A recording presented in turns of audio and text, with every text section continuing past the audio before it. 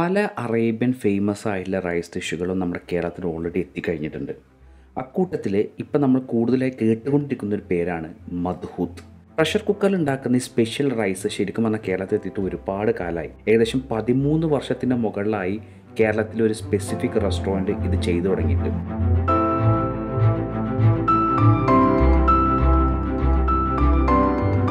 Arabian പെനിസിലിൽ ഒരുപാട് ചെറിയ രാജ്യങ്ങളുണ്ട്. അവർക്ക് അവരുടേതായ ഒരു റൈസ് ഡിഷ് ഉണ്ടാവാറുണ്ട്. നമ്മൾ ഇന്ന് പോകുന്ന പെരിന്തമണ്ണയും മണ്ണാർക്കാടിന്റെ ഇടയിലുള്ള കരിങ്കല്ലത്താണില്ല ഫോർ സ്റ്റാർ ഹോട്ടലാണ് ഇവിടെ സാധാ കിട്ടുന്ന ഒരുപാട് സംഭവങ്ങൾ കിട്ടും. പക്ഷേ ഇവിടുത്തെ ഫേമസ് ആയൊരു സംഭവമാണ് മധുഹൂത്ത്.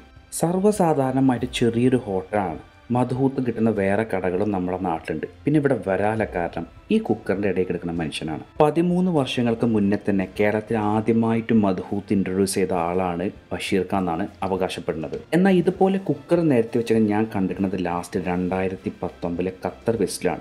അവിടെ അൽ കാത്തി എന്ന് പറഞ്ഞൊരു റെസ്റ്റോറന്റ് ഉണ്ട്. അവിടെ മധുഹൂത്ത് കിട്ടൂല പകരം കിട്ടുന്നത് അൽ മക്തൂ എന്ന് പറഞ്ഞൊരു ഡിഷാണ് അത് ക്യാമലും ചിക്കനും ബീഫൊക്കെ ഉണ്ട്. ഇവിടെ ഇപ്പം ഈ കാണുന്ന ബീഫുണ്ട് ഇതല്ലാതെ നമുക്ക് ചിക്കനിലും ഈ സംഭവം നമുക്ക് അവൈലബിൾ ആണ്. മധുഹൂദ് ഇന്ന രാജ്യത്തിന്റെ എന്ന് പറയാൻ പറ്റില്ല. ഇപ്പോൾ കബ്സ നമ്മുടെ സൗദിയുടെ നാഷണൽ ഡിഷാണ് അതുപോലെ തന്നെ മജ്ബൂസ് ഖത്തറിന്റെ നാഷണൽ ഡിഷ് കൺസിഡർ ഉണ്ട് ഇതുപോലെ തന്നെ ഊസി ഒമാന്റെതാണ്. ഇതുപോലെ തന്നെ ഡിഫറൻസ് ഉണ്ട്. പക്ഷേ കുക്കിങ്ങിന്റെ മെത്തേഡ് കൊണ്ടാണ് ഈ മധുഹൂദ് ശരിക്കും ഉണ്ടായത്. കമ്പാരിറ്റീവ്ലി ഒരു ന്യൂവസ്റ്റ് വേർഷൻ നമുക്ക് പറയാൻ പറ്റും കൂട്ടത്തിൽ കാരണം പ്രഷർ കുക്കർ കണ്ടുപിടിച്ചിട്ട് ഒരു നൂറ് വർഷത്തിന്റെ ഉള്ളിലേ ആവുന്നുണ്ടാവുള്ളൂ. കൂട്ടത്തിൽ ചിലപ്പോൾ ഏറ്റവും പ്രാചീനം കുഴിയിൽ സംഭവങ്ങൾ ഇറക്കി വെച്ച് കുക്ക് ചെയ്യുന്ന ടെക്നിക്കായ മന്തി ആയിരിക്കും. എന്തായാലും ഞാൻ ഫോർ സ്റ്റാറിന് ചിക്കന്റെയും അതുപോലെ തന്നെ ബീഫിന്റെയും മധുഹൂത്ത് ഓർഡർ ചെയ്തിട്ടുണ്ട്. രണ്ടിന്റെയും റൈസ് നമുക്ക് നോക്കിക്കഴിഞ്ഞാൽ വലിയ വ്യത്യാസമൊന്നുമില്ല. കളറിലായാലും ടെക്സ്ചറിലായാലും ഈവൻ അതിന്റെ ടേസ്റ്റ് പോലും ഒരുപാട് ഡിഫറൻസ് ഇല്ല. എക്സെപ്റ്റ് ആ മീറ്റിന്റെ ഫ്ലേവർ മാത്രം ചെറിയ മാറ്റം ഉണ്ടെന്നുള്ളൂ മീറ്റും റൈസും ഒരേപോലെ തന്നെ പ്രഷർ കുക്കറിലിട്ട് വേവിച്ചെടുക്കുന്ന ഒരു ടെക്നിക്കാണ് സത്യത്തിൽ മധുഹൂത്ത് എന്ന് പറഞ്ഞ ഒരു സംഭവം. അല്ലാതെ ഈ ഡിഷിന്റെ പേര് മധുഹൂത്തെ നമുക്ക് കൺസിഡർ ചെയ്യാൻ പറ്റില്ല എന്തായാലും ഇതിലുണ്ടാകുന്ന മീറ്റ് ഒന്നും കൂടി ടെൻഡർ ആയിരിക്കും. കാരണം അറിയാമല്ലോ പ്രഷർ കുക്കറിൽ പെട്ടെന്ന് കുക്ക് ചെയ്ത് കിട്ടും.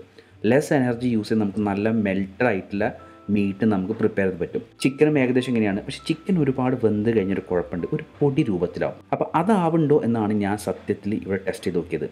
അത്ര കുഴപ്പങ്ങളില്ല. അപ്പം ലിക്വിഡ് ഒരുപാട് വറ്റിപ്പോയിട്ടില്ല എന്നർത്ഥം ആ മോയ്സ്ചറായി തന്നെ ഉണ്ട്. ഇതിന്റെ കൂടെ ഇവിടെ സ്പെഷ്യലായിട്ടൊരു ഗ്രീൻ ചട്നിയും അതുപോലെ എല്ലായിടത്തും കിട്ടുന്ന നമ്മുടെ ഈ മയണൈസും പിന്നെ സത്ത എന്ന് വിളിക്കുന്ന തക്കാളിന്റെ സോസൊക്കെ കിട്ടും. ഈ നാട്ടുകാരനായ തൻസി അവന്റെ കസിനുമാണ് ഈ കട എനിക്ക് ശരിക്കും പറഞ്ഞാൽ പരിചയപ്പെടുത്തി കേട്ടോ. അതുപോലെ ഇവിടുത്തെ ഷവായ നല്ലതാണെന്ന് പറഞ്ഞിട്ടാണ് ഞാൻ ഷവായ ഓർഡർ ചെയ്തത്. കണ്ടു കഴിഞ്ഞാൽ സ്പൈസി ആയിട്ടുള്ള ഷവായ ആണെങ്കിലും ഒരു അറബിക് ടച്ചുള്ള ഷവായാണ് പക്ക എന്താ പറയുക മസാലകൾ ഇല്ലാത്ത ഷവായ അല്ല ഒരു ചെറിയ സ്പൈസിനെസ് ഉണ്ട്.